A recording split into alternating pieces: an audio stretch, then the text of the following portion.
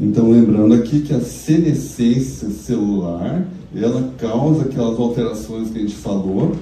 E aqui eu trouxe um artigo para a gente é, já ir pensando, né? Como que a gente pode lidar com essas, essa doença, é, a gente que trata os pacientes com suplementos, de uma maneira mais fisiológica, né? Então, quais medidas que a gente pode adotar para a gente estar ajudando a doença a não progredir tanto para nós mesmos, para os pacientes? Então, por exemplo, aqui a gente tem o estresse oxidativo, né?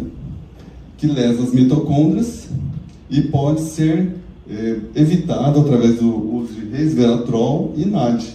Então, o que produz NAD também é a vitamina B3, nicotinamida ribosídeo, que aumenta 200% a quantidade de NAD no nosso corpo. Outra coisa que ajuda é a autofagia. Então, quando a gente é, a autofagia ela é desencadeada por vários processos, pelo resveratrol, mas também pelo jejum. Né? Prêmio Nobel de Medicina de 2016 né? é uma forma fácil de a gente estar praticando isso e a gente fazer o jejum intermitente de 12 a 18 horas por dia.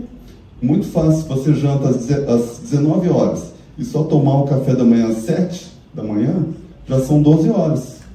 Se você pular esse café da manhã e almoçar ao meio-dia, são 17, 18 horas. E isso vai estimular a autofagia.